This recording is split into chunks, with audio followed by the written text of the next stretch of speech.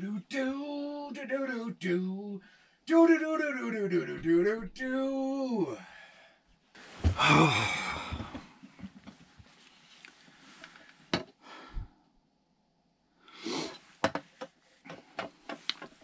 I apologize, friends. It's been a while since I made a video. Every day, I'm like, oh, I gotta make a video. And then, I don't know, I get caught up in a bunch of different stuff. I've made a few videos on my Living Free channel. It's mostly power stations. Those power stations have been a help to some of the, some neighbors, which is nice. Um, a lot of off-grid people living on. It's all off-grid people living out here. Um, let me show you what I'm up to. Woo! Bring you along. It's been getting pretty cold at night. so on today's agenda, I got to cut wood.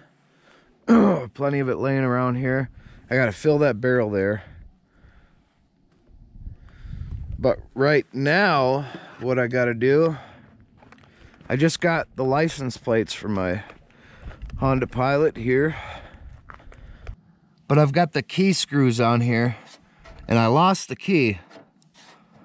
So I have to take the angle grinder and cut it right here on both sides and then use a flathead and take these off. Man, I tell you. but it is what it is. Besides that, uh, oh, it would be so nice if you guys could see what I could see right now.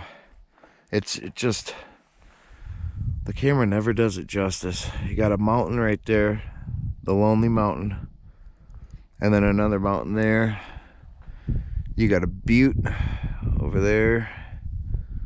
There, that that's actually probably a mesa. It's pretty long. The butte over there can see forever. It's so beautiful. I'm so glad I've got my diesel heater. That's been helping out a lot. So I've got my wood burning stove and my diesel heater. Sometimes I just don't feel like going out and getting wood. it's a lot of work to be off grid. It really is. I got to ensure everything, especially with waving temperatures, you know. I really, really, really badly need a shed my roof tore off of my clam um, last week during the wind. And the clam is literally, I don't know, one bad windstorm away from being completely useless. And I got a lot to store here. I've got my e-bike. I've got that dryer. Bunch of uh, concrete that's going to be for a project coming up my old fridge and freezer, and my favorite, my La-Z-Boy. Oh my goodness, Becky. Oh.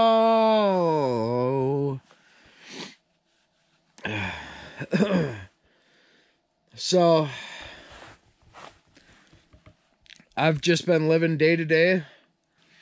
I gave myself a haircut. Uh, today is the day after Thanksgiving. Not sure when I'm going to get this uploaded. Hopefully tonight or something. But uh, the other day I gave myself a haircut instead of driving all the way into town. I was singing along with some music in my bathroom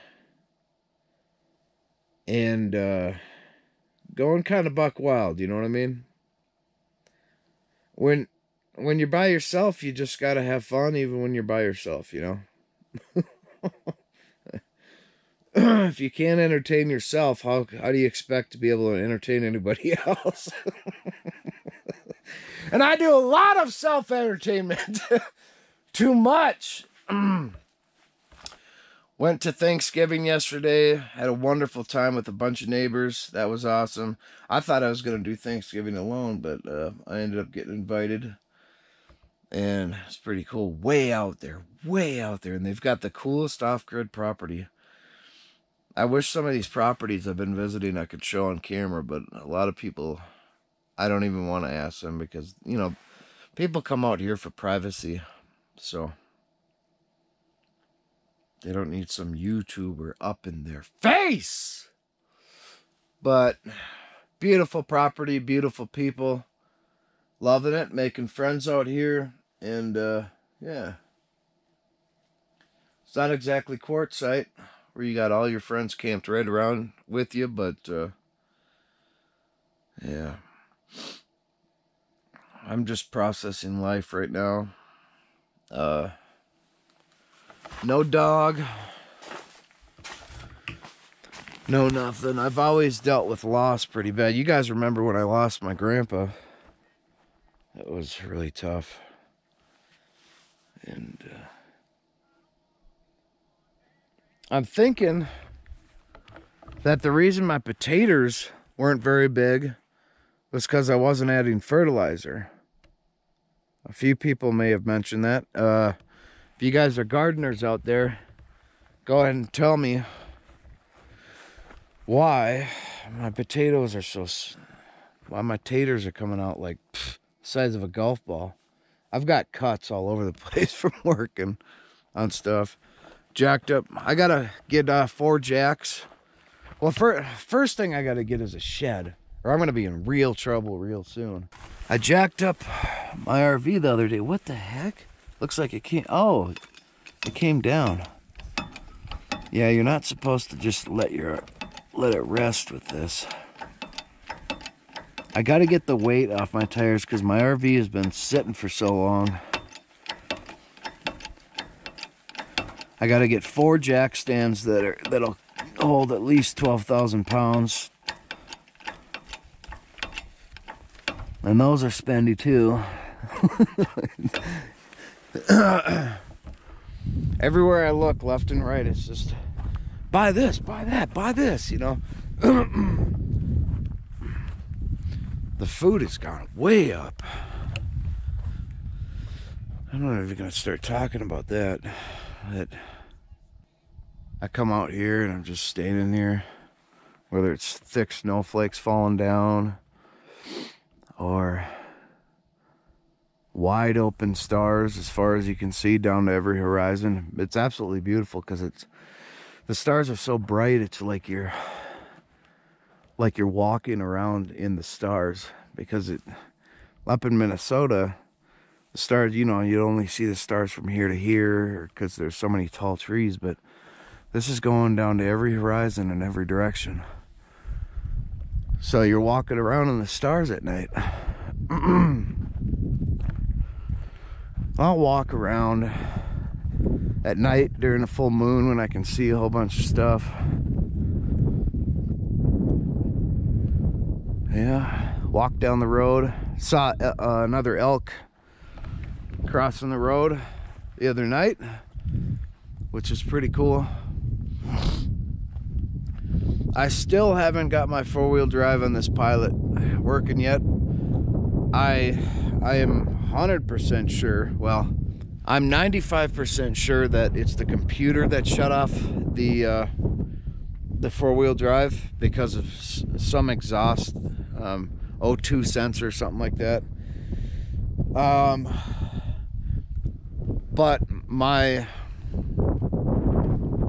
but my computer reader won't read Honda and won't do anything with Honda.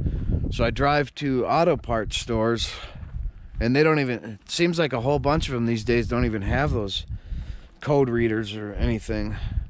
It's so weird. Everything's got to get more difficult and everything's got to get to the point where you have to go to a Honda dealership, you know, in order to get the codes read. I mean, I could I could buy a code reader for like four or five hundred dollars just, oh, you know, it's not like the $30 code reader that I got from Walmart. Yeah. Anyways, I'm figuring stuff out. I'd really, really like to get get it going. Anyways, that's me, guys. That's an update. I'm going to try to upload more now that I got a whole bunch of things done. Still doing stuff every day.